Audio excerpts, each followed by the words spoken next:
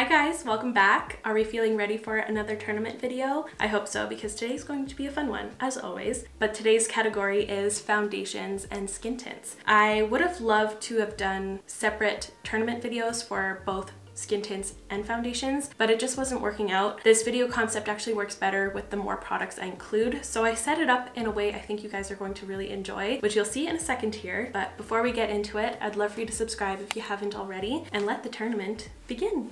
So here's our beautiful bracket of the day. So as you can see on the left, I grouped together all of my skin tints aside from the Makeup by Mario foundation. And on the right, I grouped together all of my foundations. So once we get to the center, you're going to be able to see what my top favorites are of each side. I know a lot of you would like to see some ranking videos again, and I'm thinking of doing that for mascaras because I only keep a few mascaras open at a time. So this type of video wouldn't work for that. So let me know your thoughts on that. But let's get back into the foundation foundations and skin tints. Starting top left, we've got the MAC Studio Radiance Face and Body versus the Glossier Perfecting Skin Tint. So these are very, very similar products as the packaging suggests. They both give a really nice healthy glow to your skin, a very dewy glow, and these also offer very minimal, minimal coverage. I would say you're able to get a bit more coverage out of the MAC Face and Body if you apply it with your fingertips. It almost emulsifies and unlocks more coverage when you do it that way. So this one is definitely more versatile and I find that this one wears better on my oilier complexion as well. It tends to have kind of a more grip to my skin, whereas the Glossier feels kind of like a slippery, oily type feel and I feel like it disappears on me throughout the day. This one does correct subtle, subtle redness, but not as much as the MAC. So MAC is going to win the first bracket.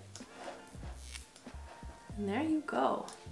Right below that, we've got the e.l.f. Halo Glow Liquid Filter versus the Maybelline Instant Age Rewind Perfector 4-in-1 Glow. So these are very similar products. You can both use them in a variety of ways, but you can also use them as like BB creams. Although they sound very similar, I see a pretty significant difference between them. First talking about the Maybelline one, the packaging is a little bit of a pain in the ass, especially if you're going to be rubbing it all over your face. That can harbor bacteria quite quite a bit because you're using it on a bigger surface area. I don't mind this type of packaging for just like the under eyes or something, but if it's going everywhere, I feel like I have a bit of a problem with that. This also feels quite oily. It's odd. Every time I've used this and I've tried to layer other products on top, it makes all of those other products look like it's sitting on top of my skin. It never meshes in with everything else. It doesn't ever look cohesive and smooth. I always have issues. Although the glow is really, really pretty and I like the amount the applicator allows you to have on your skin, it applies a very thin amount, but enough that you would need. It's really pretty, but it just makes everything else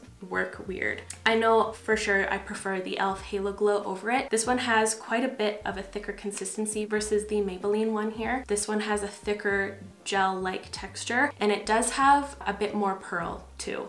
So this one you need a little, little, little amount of it, which you'll see in my swatches. I used way too much of this product on my skin that day, so it did not look very good compared to this one. But if you use just a little bit, it does offer a little bit of coverage and it really smooths your skin. It's gorgeous. I also love mixing this into foundations or using it as a highlighter or mixing it in with liquid blushes. It just creates magic. So e.l.f. is going to win this bracket. I also listed all of the shades I used in the swatches in the description down below just to help you guys out if you're interested in picking up any of these things. Moving below that, we've got the Rose Inc Skin Enhance Luminous Tinted Serum versus the Chanel Water Fresh Complexion Touch. So I fell head over heels for this product in 2022. It was almost all I was wearing in the beginning of that year. I still really enjoy this one. It offers the perfect amount of coverage for every day. I find it to be very flattering and blurring and it just wears amazingly on my oilier complexion. And then this one came around and I found that this one is a lot less fussy than the Rose Inc Skin Enhance. And I'll list a few reasons why this one is fussy. If you use too much, it just will never stick down to your face. So two pumps of this is the maximum. And you can't use a dampened beauty blender with this because it kind of rehydrates the product and it will make it lift and you can never lay down more because then it will rehydrate more surface area and then it's just going to be kind of a patchy mess. I also found that I could only apply this in downward strokes. I can't do any buffing motions because that will make it kind of clump up a little bit, but I have not run into any of those issues with the Chanel one. I can just apply it with no hesitation and it's going to look completely flawless. I also enjoy how this one has quite a bit more coverage so I don't need to use as much. I only need to use like one pump and it will cover my entire face. I probably would be able to get away with just half a pump. So this one is a lot better and I feel like it wears a lot longer on my skin as well. So Chanel is moving on to the next round. I know, shocking, but it is what it is. We're looking good so far. So the last one on this side is the iconic London Super Smoother Blurring Skin Tint versus the Fenty Beauty Eaze Drops. And these are super, super similar products. They both offer kind of that blurring, beautiful, softening finish, and they both have kind of that soft matte look as well. It's very different from what we usually see from skin tints out there. Usually you're used to seeing that super dewy, like luminous glow. So this is kind of a breath of fresh air. So I was completely in love with the Fenty Beauty Eaze Drops for years, I believe, until this one came around. And I feel like this one is more refined in the finish and I feel like I can get away with using less of this one and it's going to have a bit more coverage. And I just like the way that this sits on my skin better. I find that it blurs it out more and it just wears a lot longer. I feel like sometimes it would be easy for me to get a mask-like effect with this one if I use just a little too much of it. Just over time, trying both of these out, I do prefer the Iconic London one. I still adore this one and I use it often. I just prefer this one just a touch more. So Iconic London is moving on. I'm now going to move over to the right side now so that we can get this little section done. So now this is our first foundation battle. So we've got the Makeup Forever HD Skin versus the NARS Light Reflecting Foundation. These are both very, very beautiful. The NARS one just makes your skin look so smooth and so luminous at the same time, which is really rare because sometimes with very luminous products, it's going to enhance some texture, whereas this one just really blurs out your skin. I just had issues with the undertones of these foundations. I never found my perfect match. I found the range to be very yellow or very, very pink. So I actually had to purchase a few shades to be able to mix my perfect shade. So I do prefer Makeup Forever for their undertones. I feel like they've always nailed their undertones. They've had it in the bag for years. I also think I prefer this foundation overall because it just always looks good on my skin. There hasn't been a time ever that this has disobeyed me. it just is super, super reliable. It's one of the foundations I rely on most. I also enjoy how adjustable this one is. I can get a very sheer look or a very full coverage look and it's still going to look very skin-like. I can also adjust its finish to make it look more matte, to make it look very dewy. It's compatible with anything I want that day. It's amazing. Makeup Forever is moving on to the next round. Sorry, NARS. Ooh, two other really good ones right below that. We've got the Dior Forever Skin Glow which is another one of my top, top favorite foundations, versus the Kosas Revealer Skin Improving Foundation. So these are both so stunning. Oh, I feel like this is kind of an easy one, but also a hard one. I would say that I have more consistent experiences with the Dior. This is one of my go-tos for events because I know it wears really well for huge days. It also looks good year-round at any season and it also looks amazing whatever condition my skin is in. If I'm breaking out, it looks awesome. If I have smooth skin, of course it's going to look great. It's just super, super reliable. I feel like I've said that a hundred times now. Whereas the Kosas one, it looks really, really beautiful when you first apply it, but I found a few times at the end of the day, it will look very grainy on my skin, almost like it had separated. And I feel like I can't get a very adjustable coverage level with this one. I feel like I'm always stuck with kind of a medium to full coverage look. Whereas this one, again, I can adjust it to get a sheer to full, full coverage look. So I guess that wasn't as hard as I was expecting. Dior here is the winner. Below that, we've got the Lancome Care and Glow Foundation versus the Estee Lauder Double Wear Foundation, which is actually quite new to me. I'm wearing this one today. Yes, I'm not just wearing blushes foundation, I'm wearing a ton of blush today, but I have been testing this one out. It's my third time trying this foundation. I think it's stunning. I love how glowy it is. It's very skin-like though, and it stays looking the same all day. I've so far had a very positive experience with this one, but I do have more history with the Lancome Care and Glow. They do give me very similar, similar vibes though. This one is honestly the same, same, same, but just different brand. It gives me that beautiful glow with a good medium coverage effect. It also stays looking the same all throughout the day and it also collaborates well with anything else I put on top of it or underneath of it. It just is fuss free. So I'm going to put forward the Lancome Care and Glow just because I've been wearing this one for a few months now and I have such a short love story with this one so far,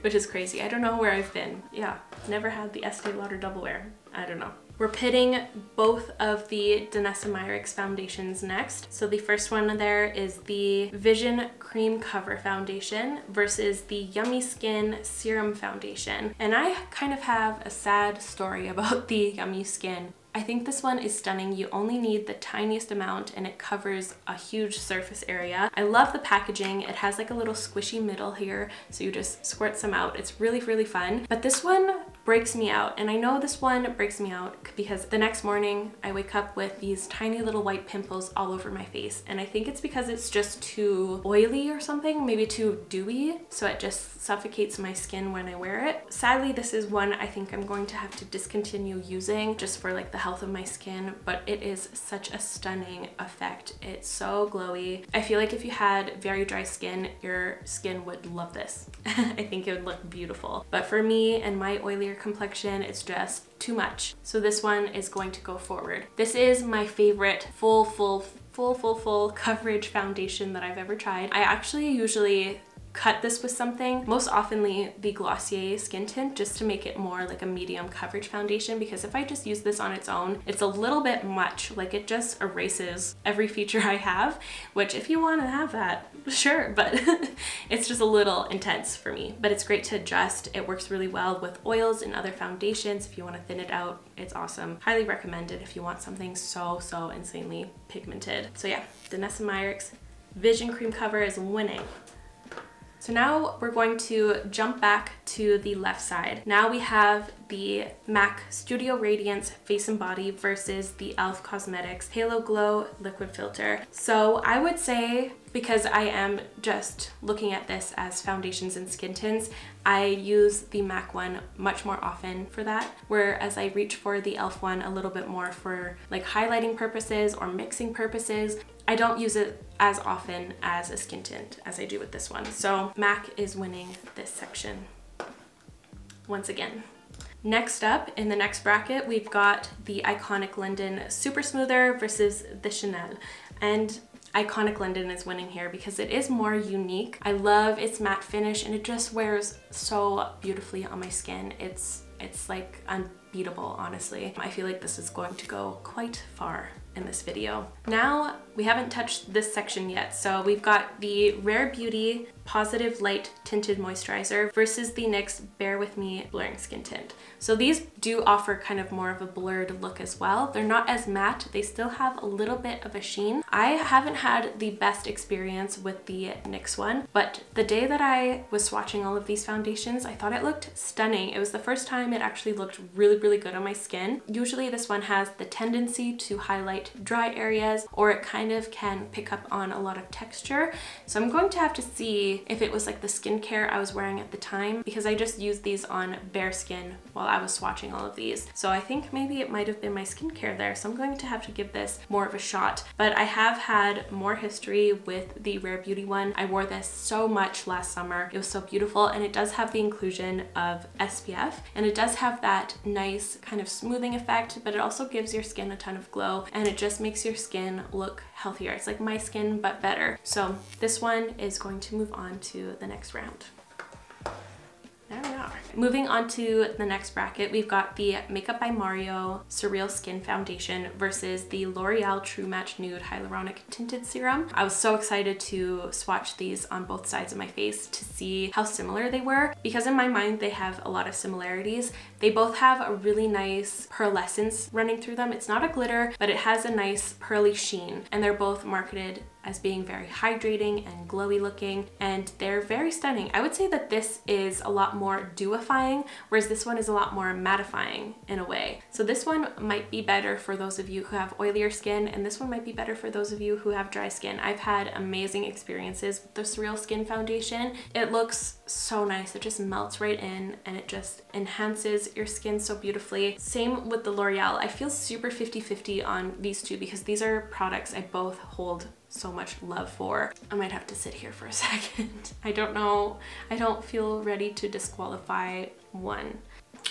I might have to go with undertones because that is one thing about the L'Oreal one. I'm not able to wear this one year round just because they don't have like the most extensive shade range. I wish they had more in between shades. Just for example, this one is 2-3 light. I wish that they had like 1, 2, 3, 4, you know, I wish they had a bigger shade range just because I find this one to be either way too dark for me or too light. And the shades on either side of these are way too pink for my skin tone. So I think Makeup by Mario is going to win solely for its undertones. This is one of the most perfect matches for my skin tone. When I put this on, it just looks like I'm painting a custom shade that Makeup by Mario made personally for me. That's what's going to tilt it to Makeup by Mario. Okay, we're looking good. Top four for skin tints and one foundation. so now let's move on to over here. Oh my God, I didn't think this was going to happen.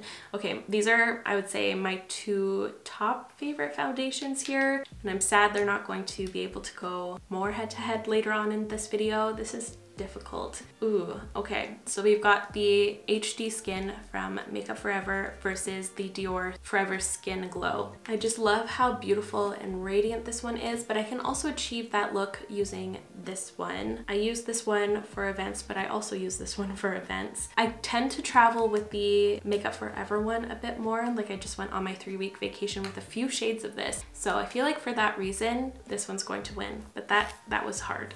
That is hard.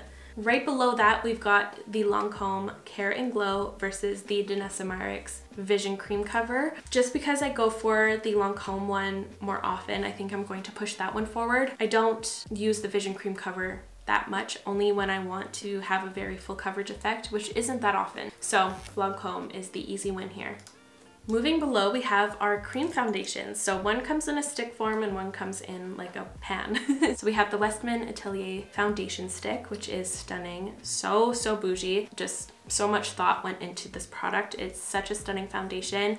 I would say you get kind of like a light to medium, more medium amount of coverage and it's stunning. It just looks gorgeous. It gives your skin so much dimension and glow and it just perfects it in the most perfect way. It's awesome. But I would say the same thing for the Patrick Ta foundation. I've gotten along with this so well. I've also traveled with this one and I wore it so much when it first came out. I actually wear this more when I'm not filming, just because I know this one was kind of iffy for a lot of other people's skin types. But as you can see, I have hit pan on this one. I adore it. I find this one smooths out my skin so gorgeously. I don't need that much and it covers a big surface area of my skin. And I love, love, love the setting powder in here. It's so blurring. It just makes my skin look so diffused and airbrushed and all different types of lighting as well. So I think Patrick Ta is my winner here, surprisingly. I initially thought it was going to be this one, but because I love both sides of this foundation so much, oh,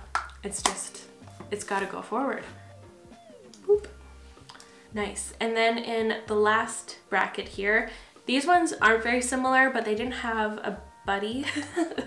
So I've got the NYX Born to Glow foundation versus the Armani Luminous Silk. I feel like I know which one is going to win here and it's going to be the Armani Luminous Silk because this is another one of my go-to foundations and it has been for quite a while now. I just love how diffusing this one is. So it has essences of the Makeup Forever HD Skin just in its reliability and it also has that smoothing and blurring effect that the Iconic London Super Smoother does but it has the thinness like no other product here. It's so thin and fine and liquidy, but it covers so much and it just makes your skin look so diffused. If my skin is having textural issues, this is one that I reach for because I know it's going to soften it out and not attract any light to that area. It's just going to make everything look really gorgeous. The NYX Born to Glow foundation is so beautiful as well. It has beautiful coverage. It offers a stunning glow. It honestly feels more high end than a drugstore product. But yeah, this is really worth checking out as well. I just prefer the Armani Luminous Silk so much more over it. So here we are. Let's go back to the left side now. We've got the MAC Face and Body versus the iconic London Super Smoother. I rotate through these two so often, so I feel like this is going to be hard. It almost feels like they're playing tug of war on my heartstrings right now. they both offer very different finishes as well. One is super dewy, one is kind of more matte, but my gut is telling me to go with the iconic London. Yep. Interesting. So next up, we've got the Rare Beauty versus the Makeup by Mario. I almost said Makeup by Forever. Ooh. These are also vastly different from one another. One is super pearly and glowy, whereas the other one is just very natural and kind of more blurring, more matte vibes. Hmm, but I kind of am feeling more for the Makeup by Mario just because it's a bit more unique, I guess, and I do reach for it quite a bit more.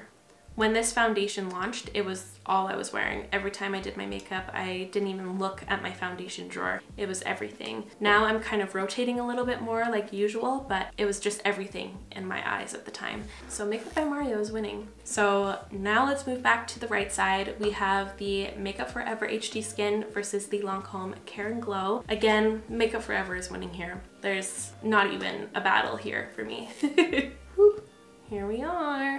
And then below that, we've got the Patrick Ta duo versus Armani Luminous Silk. Hmm, I would say I think Armani's going to take the W here just because I've had it for a few years and I know it's just going to always have a place in my collection. It's just one of those iconic products that is just incredible and I feel like it's never going to ever get old. But the Patrick Ta is so stunning. I'm so sorry, Patrick. I just, I know what I have to do, but I don't know if I have the strength to do it.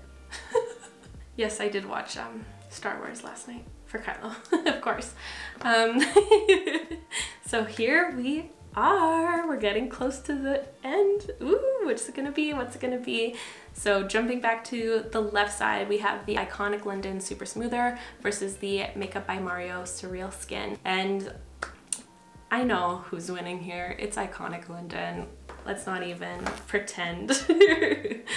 I don't even like that many iconic London products, but all my love for them went into this one product. It's just so, so good.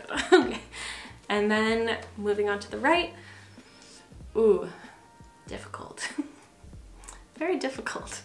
My gut is telling me makeup forever, honestly. Yeah, makeup forever again. They do amazing base products. Like their original HD Skin Foundation was what I had in my makeup artist kit. It just works well with so many different skin types and their undertones are unmatched. It's just so reliable. And here we are. Here is the finals. I think this is so interesting to look at. I love how it always ends up looking like a butterfly and I always love how I try to put off from the big decision. Ooh, I don't want to. but I think I know what I have to do. And the winner is, I feel like I need like a, a drum roll. It's so quiet in my office right now. It's like crickets. I mean, think I need to announce it. Makeup Forever HD Skin is our winner. I didn't know which direction this was going to go, but I, I don't feel that surprised by it. Let me know if you predicted the winner of today's video. I just love doing these videos so much and I also love how they allow me to retry every single product in that category. It just helps me to refresh my mind on them and to see them visually next to whoever they're battling. It just is so, I just love creating these videos for you guys and I'm so happy you love them as well. Let me know what category I should do next. That is all for me today, you guys. Thank you so much for watching. I really hope you enjoyed today's tournament video. If you did, make sure to give this video a thumbs up. I will also list and link all of these foundations and skin tints in the description down below, so feel free to check that out and I'll see you in the next one. Bye guys!